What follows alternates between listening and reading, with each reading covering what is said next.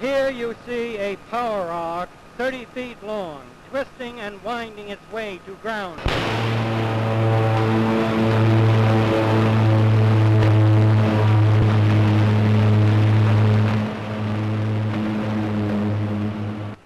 The three-phase million volt arc is the most beautiful of all.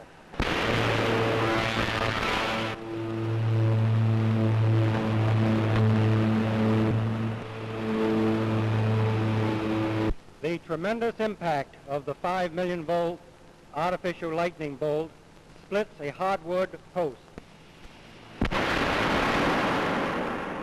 A large bottle of water is also easily shattered.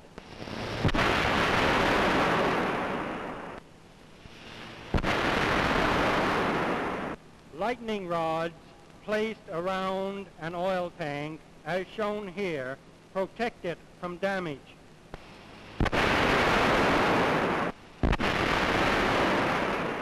Here you see what happens when the lightning rods are removed.